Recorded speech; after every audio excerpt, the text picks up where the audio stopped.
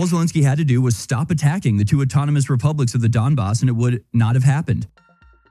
Every conspiracy theory about Ukraine starts somewhere. This one starts with a lack of, um, history education on behalf of Western mass media.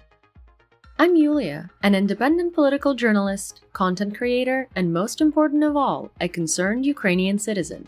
You're listening to FAQU by Svidomi Media, your friendly neighborhood fact check for Russia's special disinformation operation.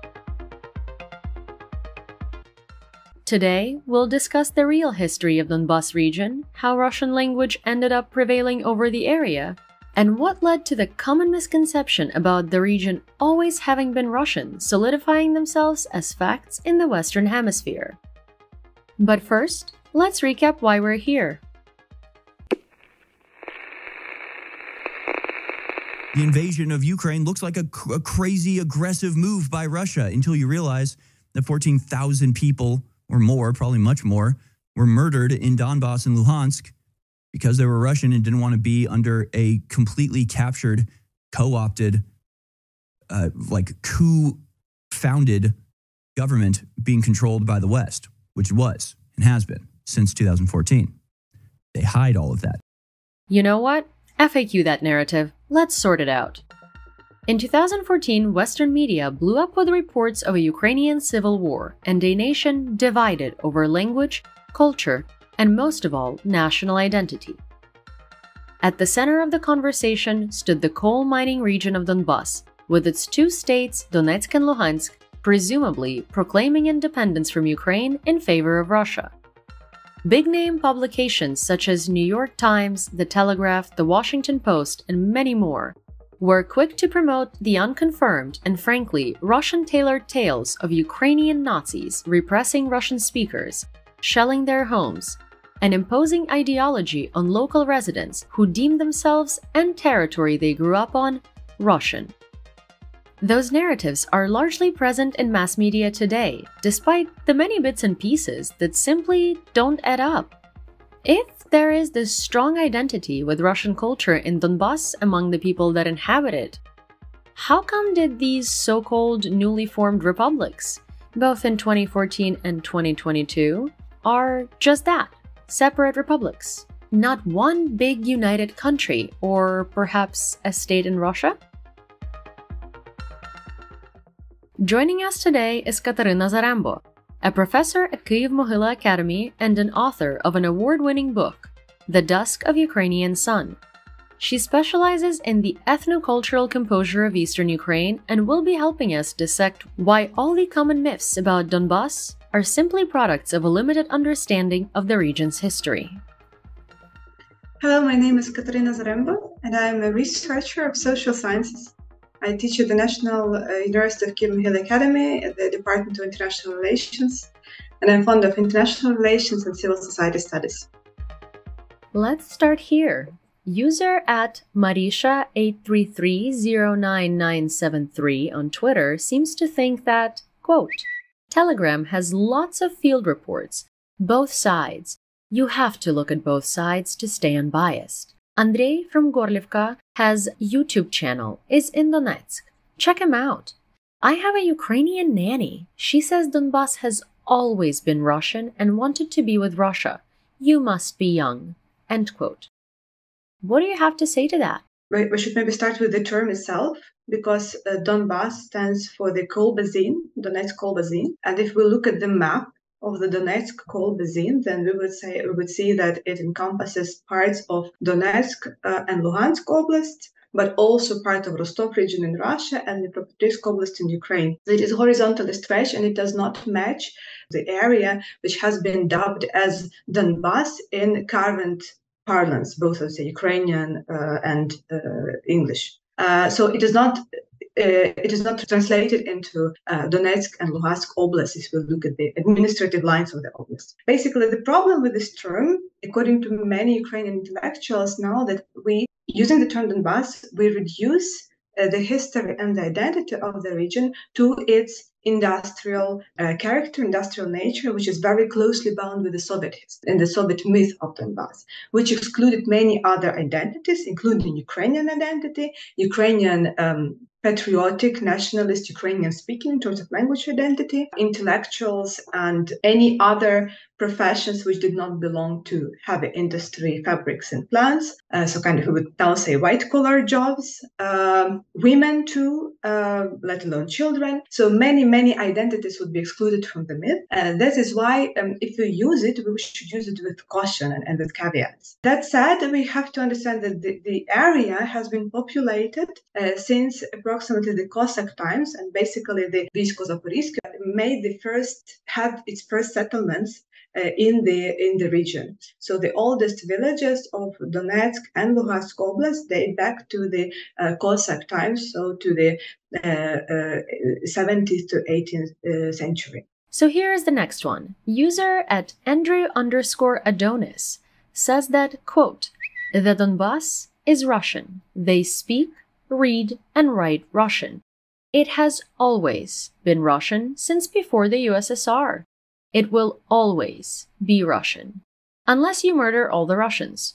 So the Q is Do you want endless war or peace? I'm not a Russia fan, but I do like peace. End quote. Are you not? Huh. Anyways, let's get into it. This is yes, an interesting, complicated story, meaning that they did not appear there uh, from scratch. So these were the people who moved, these are migrants, who appeared in the region uh, because of the Russian imperial and Soviet policies of uh, labor attraction or forced migration. But if we look at the, for example, the 19th century uh, and the first and only uh, Tsar uh, population census of 1800 97, then we would see that the majority of the population would identify them uh, themselves as Ukrainians and slash Ukrainian speakers because ident- national identity was defined in the census by the language spoken. So over, I would say up to 70% in the, according to the census defined themselves as the Ukrainian speaker. Then, because of the Holodomor, so the, the artificial famine, which uh, uh, was very hard on the Ukrainian agriculture and exterminated Ukrainian agricultural settlements and, and, villages in the first place. And because of the industrialization, indeed, um, the region was started to be more populated. So um, mm, uh, uh, residents from Russia also came to the region. However, up to the end of the 20th century, the Ukrainian population was in majority. Uh, regardless whichever criteria we apply to define whose region it was, the statement that it was the Russian region does not stand any you know, any critical approach. So it, falls apart, uh, regardless which criteria we take to check. And of course, my favorite argument for the Russian culture. User at Roth Lindberg on Twitter says that, quote, they wanted to keep their Russian culture, referring to Donbass, language, as well as independency. When Ukrainian mobs approached Luhansk and Donetsk to do the same they've done in other places, they said no. It was the people in Donbass who said no, not a few militarized pro-Russian separatists. End quote. Well, firstly, what culture? The vodka drinking? Second, um, what other places? Who did Ukraine invade? Anyways, let's talk about the Russian culture in Ukraine. One of the uh, of the arguments which I could offer is the ethnographic uh, photographs of the rural culture which we see from this region before Holodomor. So we would see Ukraine's traditional costumes, we would see Ukraine's traditional uh, settlements in terms of how the, how the houses were made. We also trace this uh, back to the types of settlements. For example, Ukrainians would settle, they, would rather have rural settlements and work on earth, whereas the um, Russians who would come for working in the mines uh, would be rather ready to go under under the earth and work in mine than the Ukrainian settlers. Um, I mean, back in the end of the 19th century, when the uh, industrial nature of the region was being developed uh, by the uh, European settlers, European investors, would call them today, uh, and uh, the Russian Empire. And so as I said, Holodomor and the Soviet history hit uh, the region very hard, and uh, exterminated parts of its Ukrainian history and Ukrainian identity. But before 1931, you know, you would know that Chekhov, for example, spoke Ukrainian, uh, residing in those areas.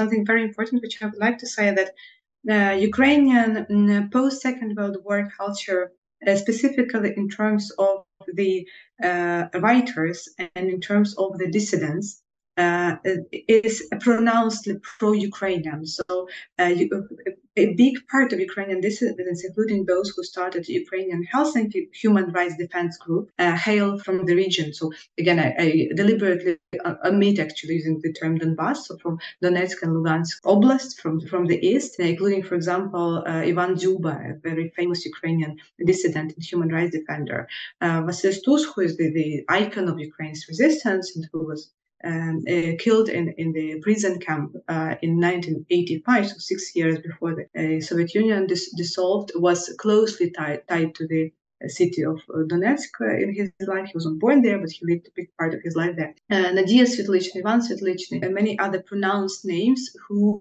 um, uh, spoke the Ukrainian, you know, were the promoters and ideologists of Ukrainian uh, human rights defense idea and Ukrainian independence idea. So they hailed from, from Ukraine's east. I think this is very illustrative of which intellectual ideas actually come from this region. Because if we look for intellectual ideas and culture, then this is this. Like men like argument, user at Cheburekimen says that classic Ukrainian nationalist argument. If you want to be Russian, then go to Russia. No, because Donbass is historical Russian land. Russians settled it and developed it. It's like telling Africans who live in Africa to go back to Africa. End quote. Let's educate him on history a little bit. So, who developed Donbass?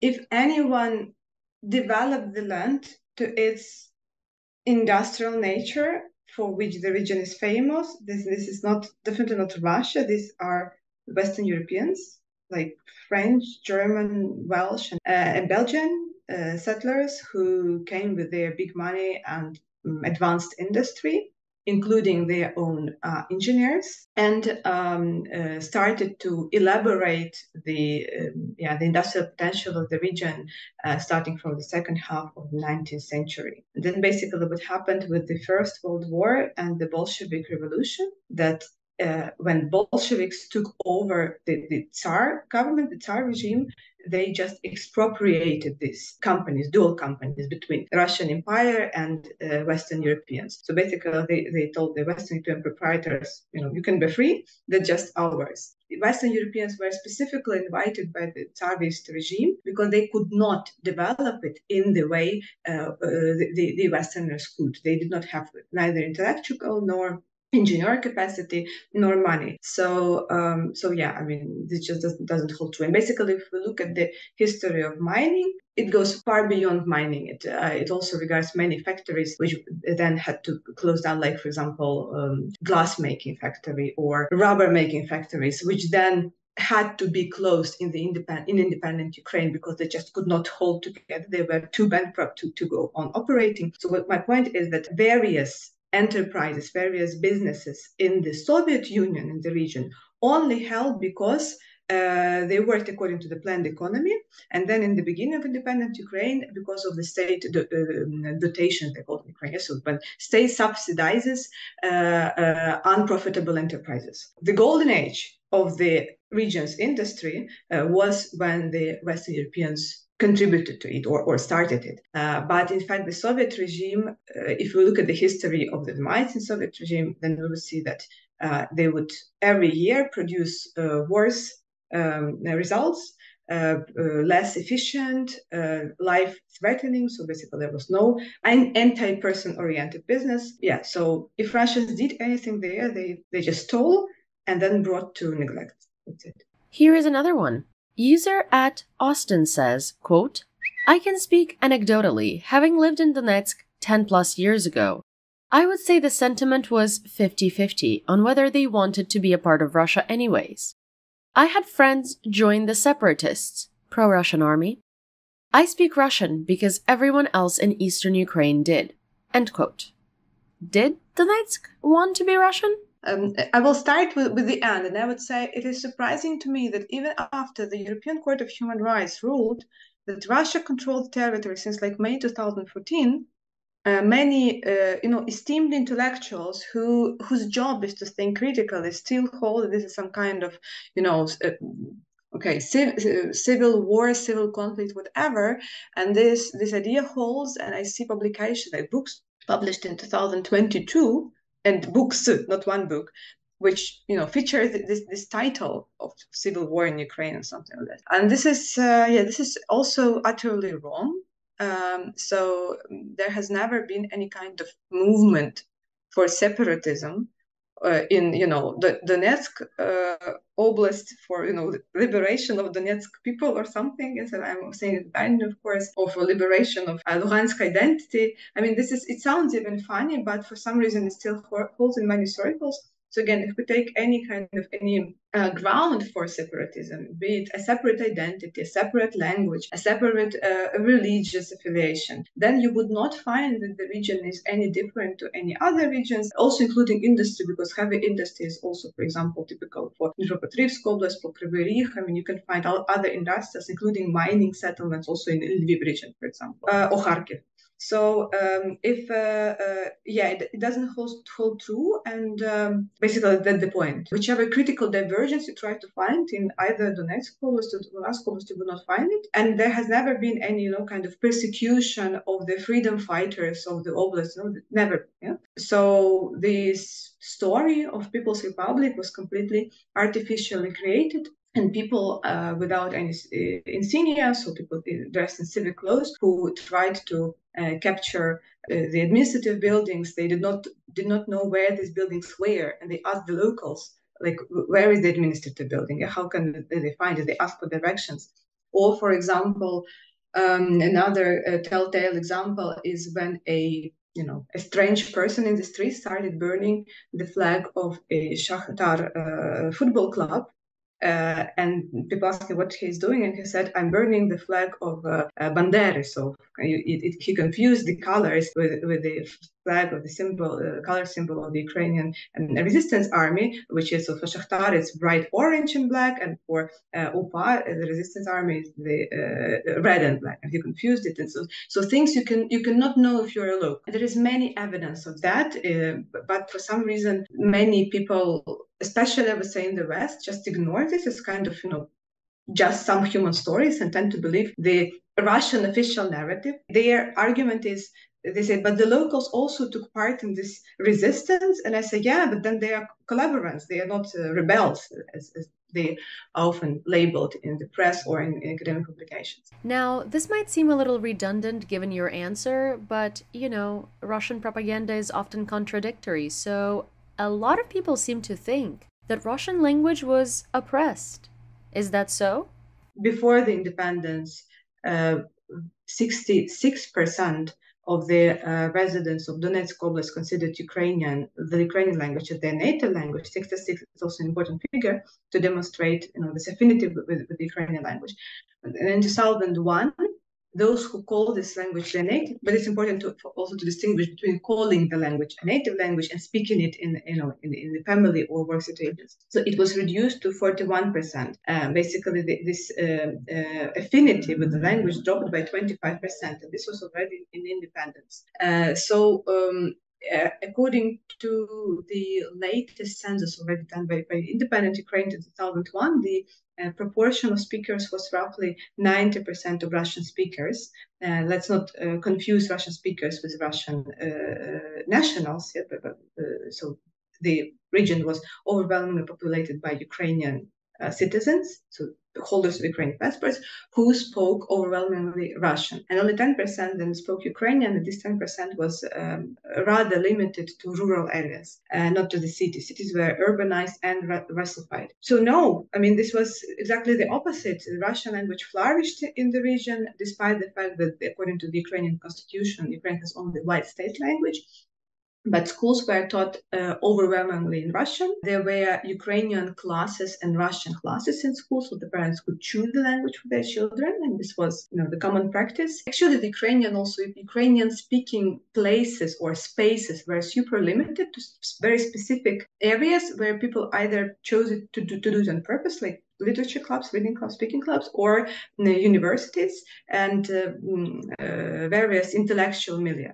But overall, I would say that the Russian language enjoyed every kind of support and priority. And uh, I cannot remember a single instance of the fact when Russian would be oppressed in Donetsk Luhansk Oblast. My hypothesis is that this was because of the um, uh, local uh, authorities, local uh, government, uh, so in the 90s quite quickly it started being transformed to the uh, what was then called the party of the regions but the people were roughly the same so this kind of criminal oligarchic clique which was also overwhelmingly Russian, and the support for the Russian language on their behalf was immense. Meanwhile, we can see that you know Ukraine, independent Ukraine, was stuck in the regional power struggle. So they were from Petrivsk, uh, they were elites from Donetsk. They were basically not as pronounced uh, oligarchic elites from the Western regions because this is the structure of the Ukrainian economy, the big business is not concentrated in the West. I would say that in terms of, of the language and culture, um, Ukraine had a high degree of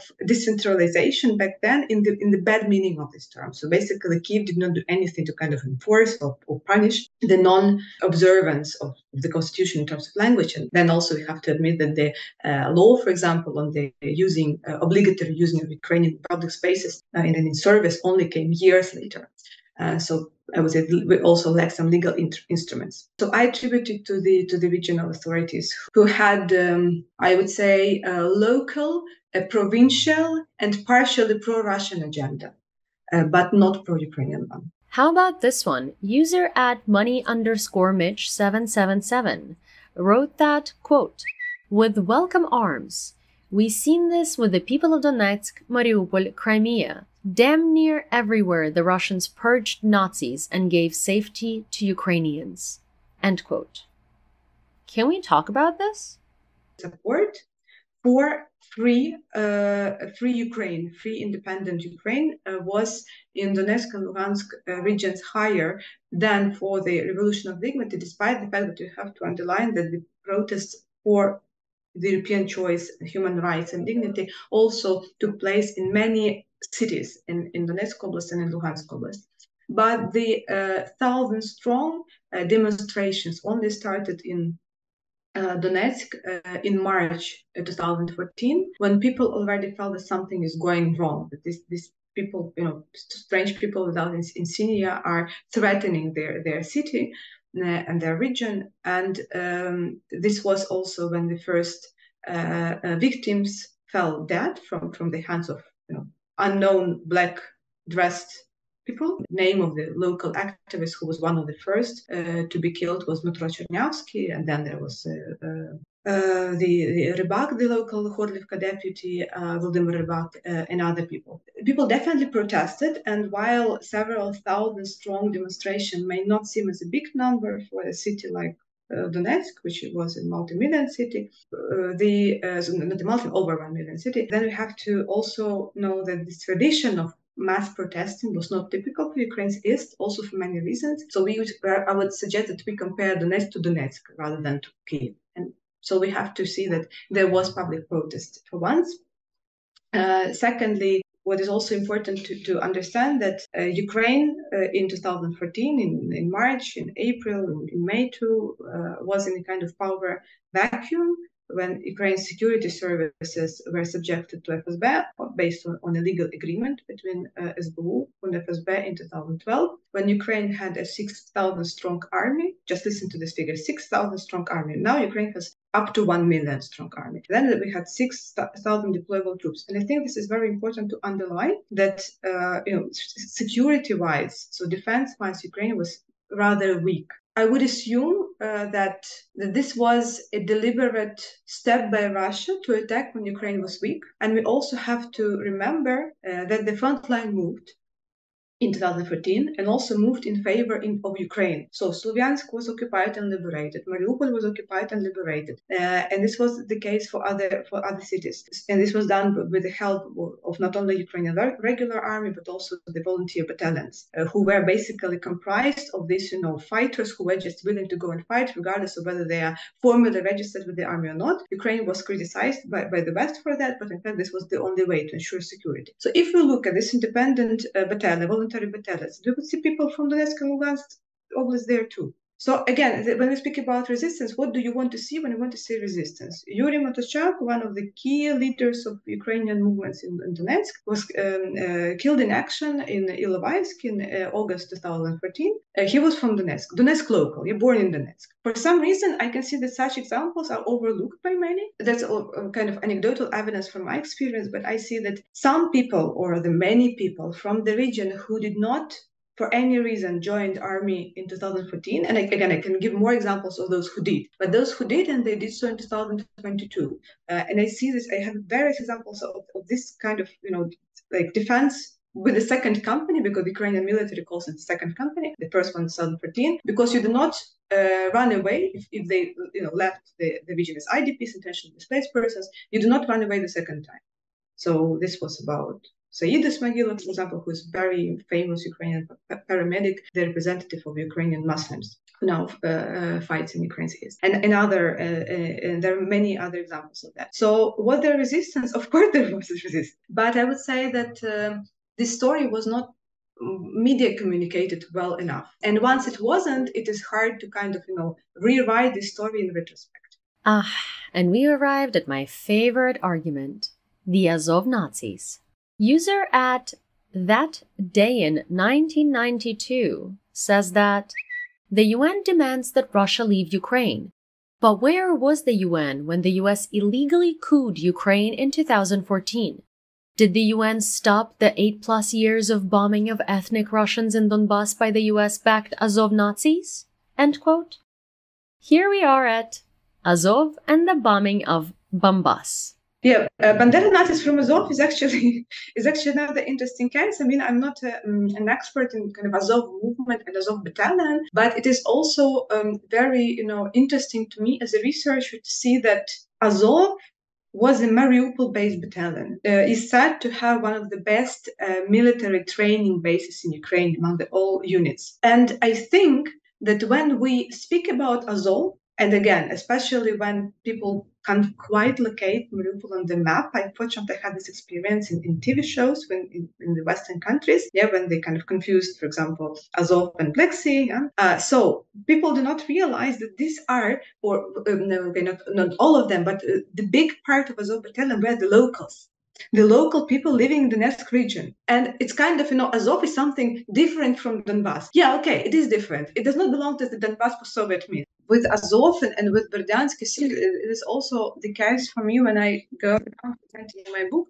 people from the east and the south would stand up and speak as if they were also from, from the east because they would share similar stories. And this is exactly because these Russian speaking regions, Russian speaking, not also, no, no, not historic, so um, not voluntary, but as a part of imperialist policies of Russia on Ukraine's territory. So they know that they are being, so that Russia attempts to instrumentalize these regions, not to establish Kharkiv People's Republic, Zaporizhia uh, uh, uh, People's Republic, Odessa People's Republic, Republic as a part of Novorossiya project, which again I think many people overlook because dating back to 2014. And they speak and say, "Come on, I mean, we are we are Ukrainians. We want to we support independent Ukraine. We don't want to be part of Russia."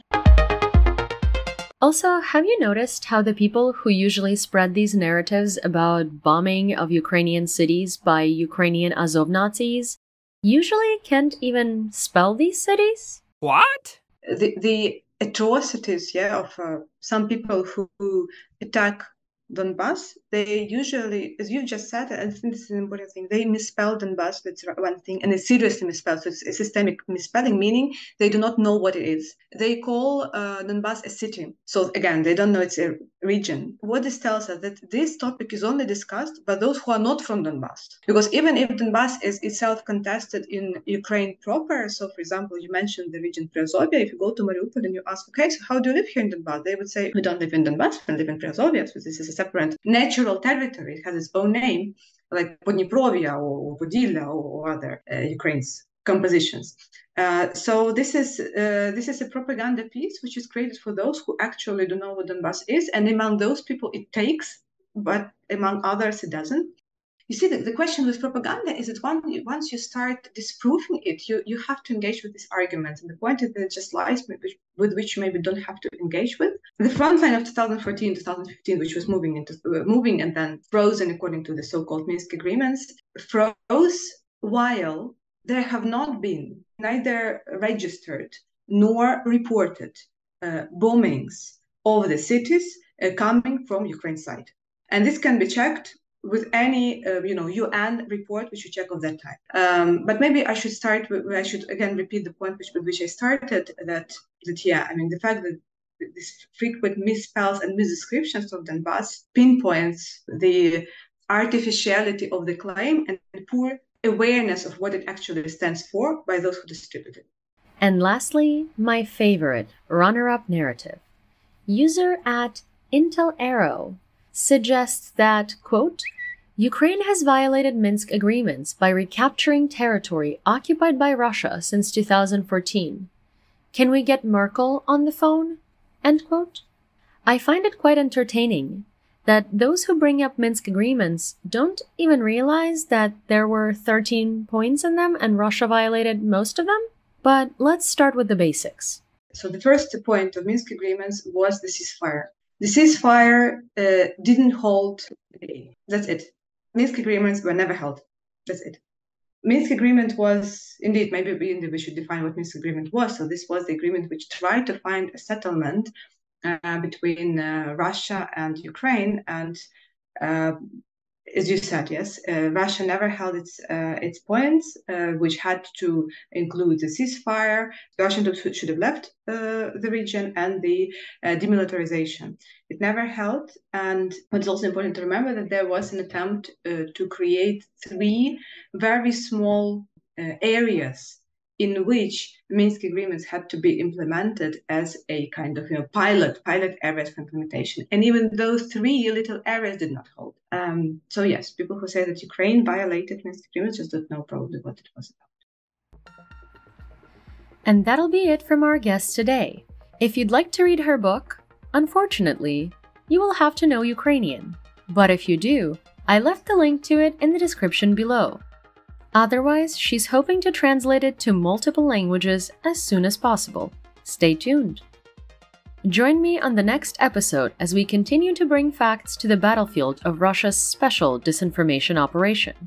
And in the meanwhile, if you'd like to be filled in daily on everything that happens in Ukraine, as well as hear some sassy responses to Russian trolls, don't forget to follow me on YouTube, TikTok, and Instagram at YEWLEEA and extend that same courtesy to Svidomi Media, also linked in the description of the podcast. Well, don't miss me too much. I'll see you next week, and FAQU, Russia, and your special disinformation operation.